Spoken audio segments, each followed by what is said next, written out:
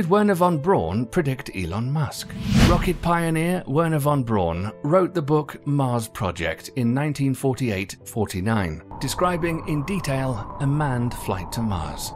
This was first published in German and English in the early 1950s after 18 US publishers rejected the manuscript. A short time later, it was extended by a technical appendix and published as The Mars Project in 1953. But a real controversy arose around this book when aerospace engineer Toby Li published a page of the German version on Twitter in December 2020, where the leader of Mars was named Elon, and Musk himself asked if this was real. More specifically, von Braun wrote, The Martian government was directed by 10 men, the leader of whom was elected by universal suffrage for five years and entitled Elon. Elon was therefore not a name but a title, still a curious coincidence considering Elon Musk's passion for Mars.